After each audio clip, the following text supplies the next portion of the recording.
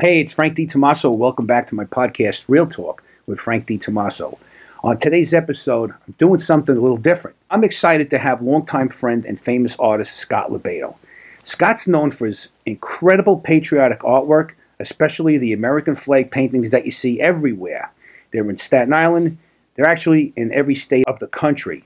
So, Scott, welcome. It's great to have you on the show. Good to see you, my man. Been a long time, right? Yeah, yeah, yeah. But you look the same.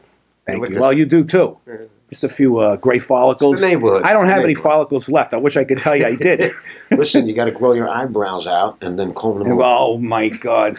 You know, it's- um, that's from an artist's point of view. Well, you know what? I do have some hair if I let it grow, but it's not going to be a heck of a lot.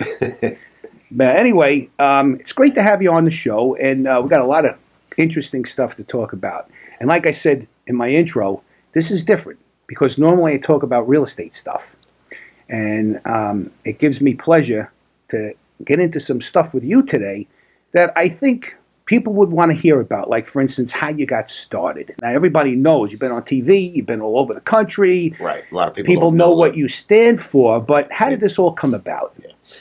It's. well, I've always been an artist. You know, even when we were younger, you know, we were up in the woods. I was building things with rocks and twigs and trees, and you know, I always had that uh, the gift to, to create. And uh, so I was always doing, you know, wild stuff. You remember my wild paintings? I used to do these really abstract, crazy, wild monster paintings, just testing everything out. And then uh, it was back in the '90s. You know, people know me as this crazy, massive, patriotic artist. And how that came to be is I went, you know, I went into the big city. It's New York City. This is where, this is where you make it. You know, as Frankie said, you make it here, you make it anywhere. And it's a big art community in, in New York City, probably one of the biggest. So I went to go find my calling of like, where am I going to fit in, you know. And I was, excuse my language here, but I was fucking shocked how the creative community, okay, was disrespecting our flag, our military, and everything America. And it broke my heart because us artists have more freedom than anybody because we get to test the boundaries of the First Amendment. We get to abuse the First Amendment. So artists, more than anyone else, should be out of their minds patriotic. And I saw this hatred, you know, blaming America for this and that. You know, every so many generations, patriotism takes a dip. You know, whether it was the 60s with, you know, uh, the Vietnam War, and then in the 90s, there was another dip. I mean, we didn't see it because we live in Staten Island, New York, Dongan Hills, with everybody's flag was out because we're all working class veterans, cops, firemen, just like any little town in a little America. So that's why it hurt me because here I am, you know, my grandmother's house, the flag was there, always fresh, crisp flag in front of the house while we were playing in the yard.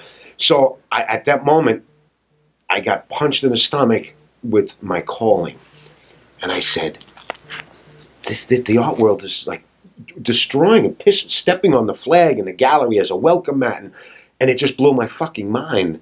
And I said, here's my calling. Fuck you. I don't need you.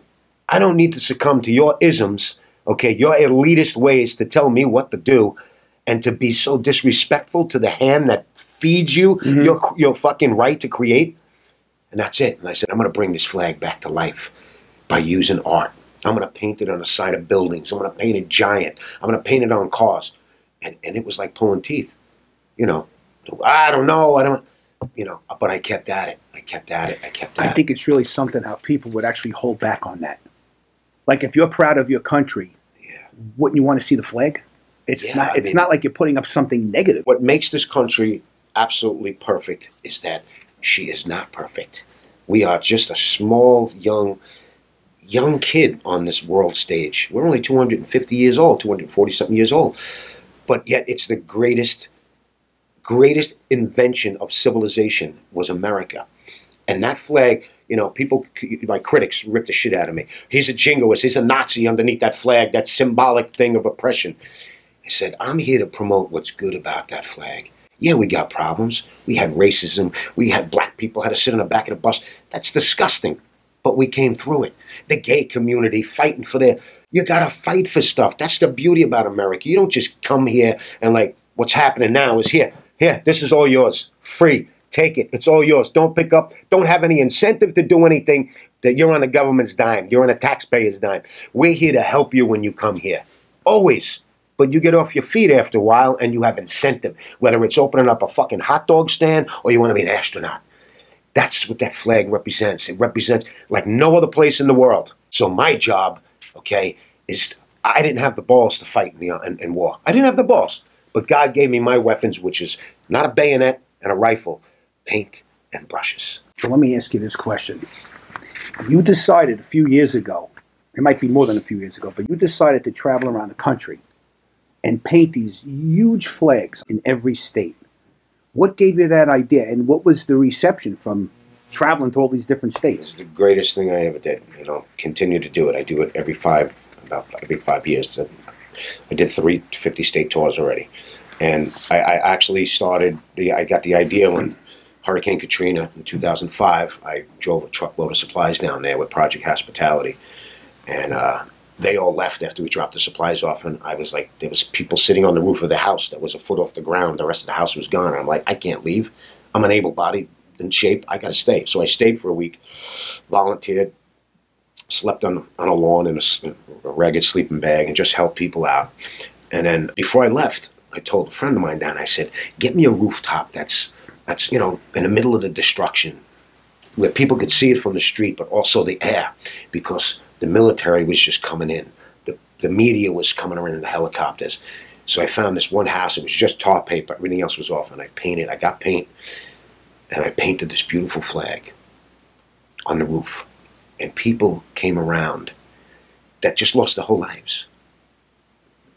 And here's this nut from New York City painting an American flag on this roof in this devastated area.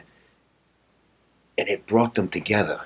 And that was the point of me painting that flag, was that as bad as things get in this country, we are Americans. We pull together and we will get the fuck out of this mess. And I drove out into the sunset after that on a 20 something hour bus ride home, busted out of my mind, and it hit me. I said, We're in the middle of a major war right now. I'm going to do this in every state because I just realized what that painting this crazy man on this roof painting this flag that's that's not a canvas that you would normally see But most people, you're saying people came around you Oh, in yeah. unity. yes How was that in the other states? well that's what kicked it off i said i got to do this in every state so I scrounged up a couple of thousand bucks a friend of mine gave me this beat up old chevy and i just packed up and went on the road and just banged on doors in every state i went into like military areas military bases because guys and girls were flying out to war and guys and girls were coming back so it was like an uh, godspeed to where you're going and welcome home and then just getting into a town and letting you know this crazy New York. I'm down south. This crazy thick New York accent that you know I'm Sicilian. I I, I, I light my cigarette and I, I know right really away. tan. So I am the typical New Yorker, and they're like, "What is this guy? Wants to paint my roof? What the hell?" And finally, once I got it done, the next day it was all over the news, and everybody knew why I was doing it. It was this creative way of supporting the troops, and then every state was the same way. I was went in as nobody, and I left as Elvis, and the community just embraced it, you know, because here's this crazy son of a bitch doing this. So, by and large, everybody embraced it, oh yeah, Oh, regardless of what their political no, agenda no, is. there was a most, you know, I've been very political for the last also because back in the '90s when I started the artwork, the, the patriotic artwork, I also started this activist campaign, you know, pro-American activism. Most activists are on the on the left side, and that's fine. I, I have so many friends that are, and I respect them. That's the First Amendment. God bless it. Mhm. Protest all you want, even if I don't agree with what you're protesting. Mhm. But I got your back for doing Right. it. So as long as you don't punch somebody in the face for wearing Sure. a red Right. MAGA hat. And no, I was such a non, and I emphasized that, you know, that this is non-political. This is about our troops. This is about America. This is about supporting the men and women brave enough to fight for my crazy ass. And how? Why are you so patriotic? Why do you support the military and the veterans, Scott? Because I'm living the life like nobody's business. Yeah. So how can I not embrace and love these men and women? Right. Every musician, every artist, every writer, every dancer, every actor should worship the men and women of our armed forces. And when I see them, you know, see, I, let me calm down. All right, get me fired up. I know you can Told, go I told and you on I'd hold on. back a little bit. Well, how do you how do you view it locally here in New York City? We have pretty diverse groups right here in New York City. Oh yeah. Oh, and Yeah. how was your art taken here? Well, the art world threw me under the bus. You know, I told you that. They know who I am. You know, you know, you see me on Fox, and I've been on every news channel. In Oh, yeah, I've been in front yeah. of every newspaper. Sure. You know, I, they know me, but they refuse to acknowledge me because I did not succumb to their agenda, and that just proves the hypocrisy of the arts and theater and Hollywood. If you're in Hollywood and you come out and say, "Hey, I support Trump," or even if I'm a Republican, you get the part of the stock boy in the X-Lax commercial. That's what you get. You don't get the, the star role. You don't. It's it's like that. We all know it is, you know. But and, and again, I'm fine with it. I live with it because I created my own element outside the art world, and they hate me even more for that because I've become, you know, I'm kind of famous. Well, you know, You know, what? Because you did your own thing. You I did didn't my follow suit like But everybody else But they're supposed to worship me for that. right. But they hate me for it. well, they hate you because, Because- you went a different direction. because of my political ideology. You know, I'm a NASCAR fan. I'm a heterosexual. I don't pronounce my R's. I'm from Staten Island. That's who I am. I'm a real New Yorker. You meet these New Yorkers. They, I, I'm in the city. I mean, oh yeah, I'm a New Yorker. You know, you just moved here from Quebec three months ago. You hear this fucking accent? I'm a fucking New Yorker. You know what I mean? It's it's. I love It's what it is. It's what it is. I'm proud of who I am. You know, I get looks at these gallery openings I go to, and they're like, "Look, this," you know, like I'm a black sheep, and I fucking love it. and really, who is the black sheep? I love it. Right. But in the old days, if you were the black sheep in the arts, you became the superstar. Yeah. You know, you put Yeah. Christ in urine with taxpayers' money. Right. The guy's a superstar. Well, elephant dung on Jesus. Yeah, yeah, And that makes you famous. Right, right, right.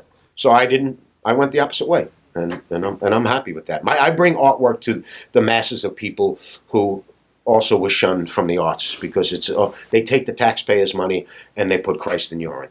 You know, they put you know homoerotic art and stuff. Again, I support all art, but when you do that against the people that take that give you the money for the arts, you you bite in the hand. And I don't do that. I don't take grants. People say, Scott, I'll, I'll help you write a grant. You can get like 50 grand for. I don't want the taxpayers' money. I got. I need money. I borrowed from. I borrowed from Frankie. I'm doing a project. I need a couple of grand for some paint. and. That's the way. I don't go to. I don't go taxpayers. I get it privately, or I do it on my own. I sell a painting, and I do my own. Look, thing. you know what? Let me say this. You do have your own right, like you said, your First Amendment. But your artwork is great. Well, It, you. I mean, and I'm not just saying that. It, it truly is. I mean, I haven't seen any American flags done as good, not even close to the work that you do.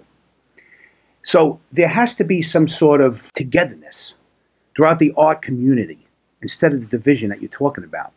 Just for the appreciation of how creative your work is. It's great. And I know it's not all you do. You do other, wor- uh, other works too.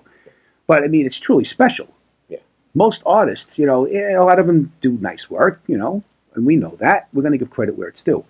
But I haven't seen anybody step up and do the American flag with such love and respect. And that's why those pieces are, awesome. It's the love and the passion I have. I've done 10,000 flags maybe throughout my last 25 years when I first started doing it. And every one I paint, I'm painting one in my studio when I go home. I'm doing a commission for somebody. And it's, I'm not like bored, like, oh, another flag. It's like the first time I painted a flag because I know what it means. The, I, I've been to the Louvre in Paris. I flirted with the Mona Lisa face to face. The Mona Lisa. I touched the Van Gogh. I reached over and I touched the broke, the painful thick brushstrokes of Van Gogh. I gazed at the Sistine Chapel in Rome. I was there. These are the masters of the world. But the greatest work of art in the entire world, the most powerful, beautiful, sexy, meaningful work of art is the Star Spangled Banner. It is a work of art. See, we don't look at it as a word. We look at it as a symbol. It's a flag. It's a piece of cloth. Somebody created that. What the meaning behind it is, is more, more meaningful than anything anywhere. It's that flag. I didn't invent it. See, Scott's the flag man. I didn't invent it. This is my calling to promote it and celebrate her through a Let different me ask medium. you this. How much do you think you can change people by your art to call for more unity? Because I know you're not going to stop. No. I know this is your quest, and you have a motive to get people to come together and unite through your art. Yes. It's, I mean, I've changed many people. I've taught so many people by using my art. You know, Uh, what, what, look, look, what, Dad, Dad, what, look at that giant, beautiful, three dimensional, colorful flag on that old, dilapidated building that says VFW. What is that, Dad? And then the father gets to say, It's the American flag. That building, underneath that roof, are the greatest men and the women of the world, the veterans. They gave us the right to go to the Yankee Stadium where we're on the way to right now to watch the ball game. It's them. That's why that flag is there. That kid will remember that. I get letters from school. I you know how many times I do performances at school or I paint a school for the last twenty something years.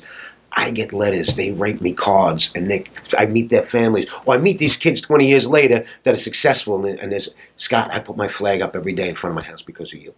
You know. So that so my, I'm doing my job. You are. You know, I'm doing my job. You are. I think But you still, are. you got these assholes that are still going to burn down the burn the flag, piss on it because they think you know they're biting in, They're biting the hands of fear. You could protest all you want. I told you, I worship you protest, even if it, I don't believe in it. But when you abuse that flag, you're not getting anyone to pay attention to your cause. All you're doing is upsetting so much. You're upsetting the men and women who fought for you to burn that flag. It's it, that's what burns my ass. Go to the Capitol, get arrested there, like I have. Go to City Hall, protest, and get arrested, like I have, to make your statement. You know, have put some balls on. Is what mm-hmm. I'm saying. Mm-hmm. No, put some fucking balls on. Burn the flag. That's a simple, stupid, coward thing to do. Get in your truck and drive three states away to that cause that you want to fight for, and get your ass dirty. Yeah, I'm on Facebook. Yeah, yeah, yeah. Then we're going to go out and burn the flag because I got all my friends behind me who believe in the same thing. Do that in front of a veteran, in front of the, the, these amputees that I deal with every day with the Siller Foundation. Triple quad amputees, 20 years old, these kids are, that worship that flag and they got their asses blown the fuck up and they still worship that flag. And your 20 year old 25 year old punk ass is going to burn a flag, and all it does is piss off and hurt that guy that lost his fucking legs for you. Makes me fucking nuts. Scott, I want to ask you this: Sorry. What do you have? Don't give me any coffee. What do you have? I think you had enough. And I don't drink Did coffee. you have espresso? Maybe. Nothing. No, I can't. I What do you have? this. What do you have planned for the future? Anything cool for your art? Anything coming up that you, any mm-hmm. brainstorming Yeah, I got I got so many. As a matter of fact, I'm right in the midst of waiting to hear back from the the governor. I, you know, if you remember the whole Cabrini, Mother Cabrini fiasco, uh, the city put out a call to uh, a contest to for for great American women Right. Mhm. in New York City and uh, to build statues of them. And Mother Cabrini, okay, who was my family's Mhm. patron saint, cured my grandmother, great grandmother, and a wonderful woman. Took care of the orphans, Italian immigrant orphans, which came in. And the, the mayor and his wife said no, even though she won hands down. They said no, and it was a big uproar. The Italian community went nuts. Cuomo said, Yeah, like the Christopher Columbus. Yes, same statue. thing. Yeah. So Cuomo put together a commission, and they had a call to artists for a big proposal. So I submitted my design, and uh, we're waiting to hear back any day now. So who's who they're going to select? My chances are slim, again, because I'm apparently a controversial figure. Uh, because of whatever, which I don't think I am, but uh, so that's something I'm, I'm hoping that comes through. But if that does not, I still got so many other uh, big projects. I'm going to do another 50 state tour, uh, probably next year after the election, because the election is, you know, this is I'm here. I ain't going anywhere. I'm going to be here. That's exciting. Yeah. That's one thing that I've always wanted to do. Just- I've seen a lot of states, but not all of them. dude, to drive to the middle of the Northwest in Colorado, I mean, uh, uh, in like Montana, and just pull over and just park my ass, get my tent, my fire pit, my whiskey in the middle of nowhere, and just camp out. Get in. You can't get more to the next peaceful than that. So the people I meet, this, it's the people. It's all American. And what are Americans? They're people from all over the fucking world. Everyone says Americans. uh, They're just Amer. We're not. That's what. Again, back to the whole flag and why we are the greatest countries. Yeah. Because we're not Italy. We're not Germany. We're not India. We are all every fucking thing. Right. And people forget this. of everything. And young people forget this. Right. You know, and like Americans. They're so. You're talking about your brother. You know, you, it's that's what makes it great. The, the, Mm-hmm. the diversity is insane, and the travel the country. It's yeah, it's the beauty and the cliffs and the mountains, but it's the people. I sleep in the backyard in their barn if I don't have any place to stay. You know, they feed me, and then I'm on the road again. It's it's, it's amazing. It's amazing. What do you have coming up? Any art shows? Any? Uh, Yes, actually, um, I usually have you know, every year or two I have a huge show, and I haven't had one in a while, and I, I blow out. It's it's uh, I do great. I get people pack the place, and I sell sell really well, and I always give part of it to charity.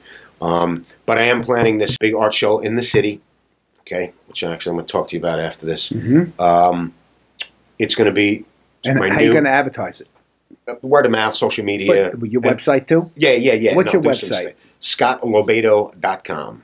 S C O T T L O B A I D O dot com.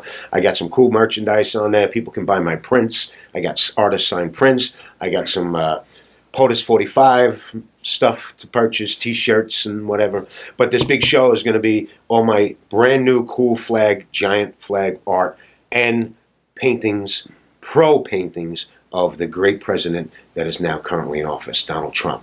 So it has never been done before in this city, this liberal city. Oof. So wow. it's going to be. That's a nervy thing to do, but I wish you a lot of luck with that. It's going to be I- and interesting. I You're hope- going to see it. I gonna be a hope I'm going to be there, and I hope you're pleasantly surprised because when people come and see the artwork, they're going to be like blown away. Yeah, it's. It is it's- that good.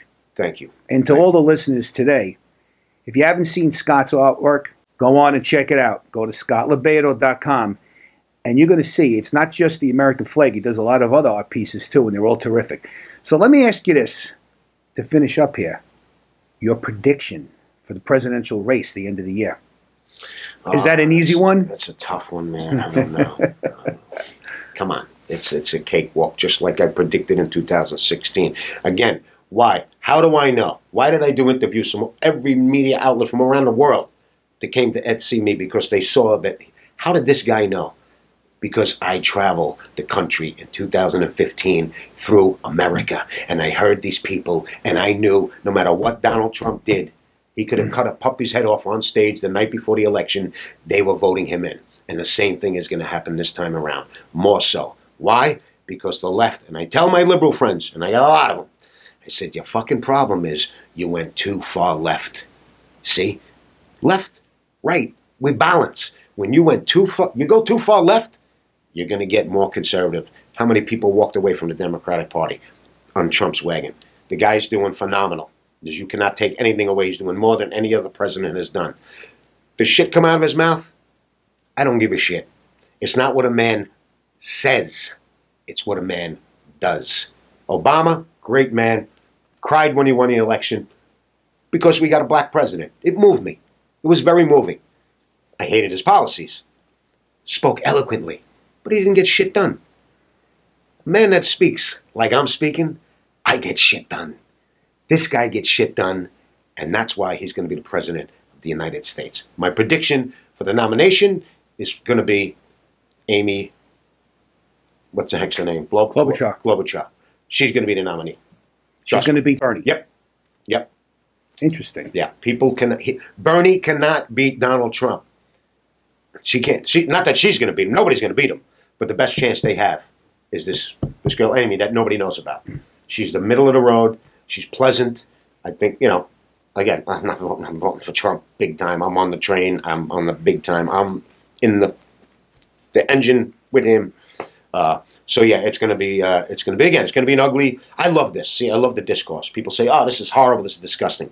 People think our founding fathers were sitting around sipping tea. They were beating the hell out of each other. They were fighting like this is the nature of the beast. You know, it did just get a little extra ugly because the intolerant, tolerant people on the left see a man wearing a MAGA hat punch the 75 year old man in the face. You go on YouTube, you see it all the time. Just this the other day, this kid ran over a ran into a Trump tent where they registered people to just it's it's going to get ugly again. It's ugly, but we shall prevail. Scott, this was very enjoyable. And I hope our listeners enjoyed listening to you today and enjoying hearing your passion. Thanks so Yeah, much for that. And thanks for being on the podcast today. Appreciate it. Happy to be here.